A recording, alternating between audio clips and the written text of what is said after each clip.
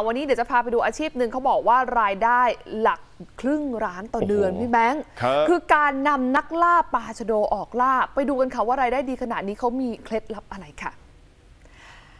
พาคุณผู้ชมไปรู้จักกับคุณพงษ์นะคะ เป็นนักตกปลาชื่อดังระดับประเทศที่คว้าแชมป์ตกปลามาแล้วหลายรายการด้วยกัน อาชีพหลักของคุณพงษ์ก็คือจำหน่ายอุปกรณ์ตกปลาแล้วก็เหยื่อปลอมครับแต่ว่าคุณพงษ์เนี่ยมีอีกอาชีพที่หลายคนอาจจะไม่เคยได้ยิน นั่นก็คือนักล่าปลาชะโดโอ้โหนำนักท่องเที่ยวเนี่ยออกล่าปลาชะโดในพื้นที่จังหวัดเชียงใหม่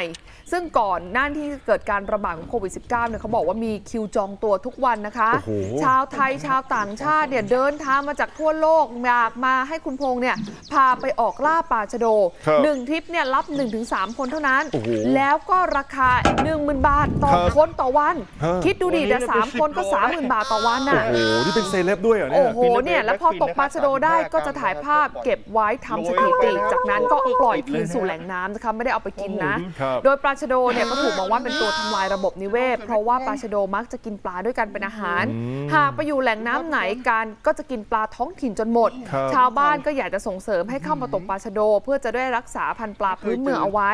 สร้างรายได้สร้างงานสร้างอาชีพ กระตุ้นเศรษฐกิจมีเงินหมุนเวียนในชุมชน เนื่องจากนักท่องเที่ยวเนี่ยก็จะเป็นกลุ่มที่มีกำลังซื้อสูง นอกจากนี้ก็ยังมีผลิตภัณฑ์จากหัวปลาชะโดตากแห้งครับราคาตั้งแต่หลักร้อยไปจนถึงหลักพันนะขึ้นอยู่กับขนาด ซึ่งถ้าหากผ่านการทำสีแล้วราคาจะสูงขึ้นอีกนี่แหละโอ้ค่ะโหนี่แหละฮะ แต่ว่าตกไปตกมาเมื่อกี้ตอนที่น้องเอ๋ยอ่านอะเหมือนอุ้มหมาด้วยนะโอ้มันกลายเป็นน้องหมาเปล่าจริงเหรอเออไม่ใช่อ๋อนั่นอาจจะเป็นสัตว์เลี้ยงของสัตว์เลี้ยงของเขาอ๋อสัตว์เลี้ยงของเขาใช่ไหมนะฮะไม่ตกหมาคือไม่ตกหมาไม่ตกหมาใช่ไหมเลี้ยงอ่าตกปลาชะโดพออ่ายามว่างใช่ไหมฮะค่ะก็เลี้ยงน้องหมาด้วยนะครับใช่โอ้นี่ตัวใหญ่จริงๆเนี่ยก็ไม่เคยเห็นเหมือนกันนะหคลายรับโลอยู่นะอันโอ้นี้โหแล้วตอนนี้น่าจะเริ่มเปิดประเทศแล้วนะเดี๋ยวนักท่องเที่ยวคงเข้ามาน่าจะมีรายได้ดีนะครับ